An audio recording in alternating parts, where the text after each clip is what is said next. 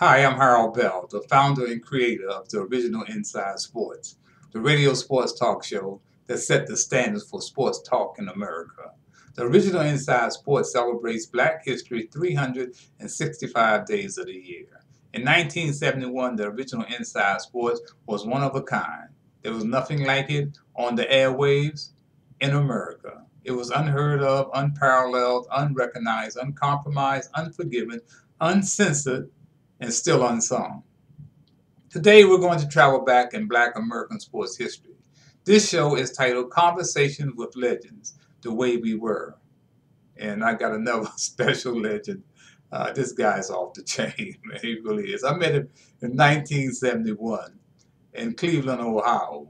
I was up going, I was traveling to Cleveland, Ohio with some friends for an exhibition boxing match uh, featuring uh, Muhammad Ali, uh, who was doing this thing for charity uh, for Children's Hospital. And guess who the promoter was? Don King.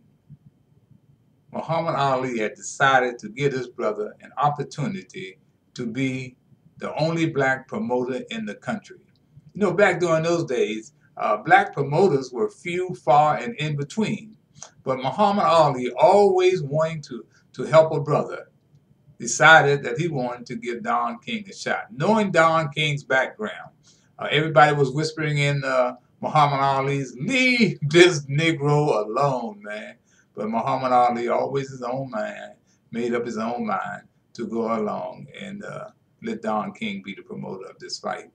And if you know the real story, Don King ended up uh, stealing, taking some of Muhammad Ali's money.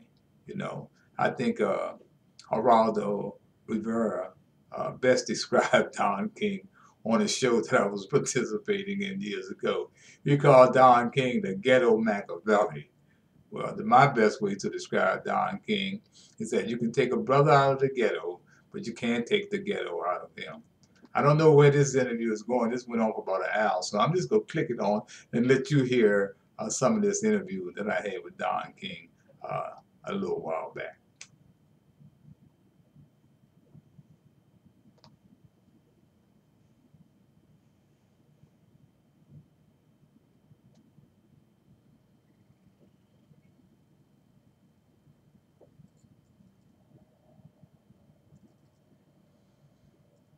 own common interest, two different agendas going to a common interest, uh, really, nevertheless, serves both purposes.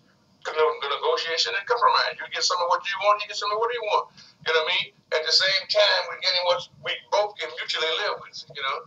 And this is the difference. But we, as a people, try and tend to want to be the only one. And that's a very dangerous situation because you always will, will be a minority of the minority. Only one. Well, hey, let me explain that. Don King, I'm telling you, he's the best with talking on both sides of his mouth. We're talking about, you know, networking with each other to make it a, a better society for those of us in the black community that need to reach back and help others. But what Don was saying is that uh, when we get in a position, we always want to be the only one. We don't want to pull other folks uh, along with us. And uh, he's absolutely right. But Don King is a, uh, when you're talking about not reaching back, you know, he one of the real selfish individuals, man. I, I really love the brother. I thought a lot of him, man. But he put me in a trick just like everybody else. And I was warned. I was forewarned by Connie Harper, who was Don King's right-hand lady. Uh, she ended up going to jail for him on income tax charges. She took the weight and went to jail. Connie was a, a great, great lady, and she warned me from the beginning, Harold, don't ever take any money from Don King unless you earned it. Okay? That was a warning that I heeded. So uh, we're going to have a, a, a, more extensive interview with Don King, but I just want to give you some idea of what we come we got coming up and what to expect. So uh, like I say, stick around. We're going to be talking to some some really high-profile legends of inside sports.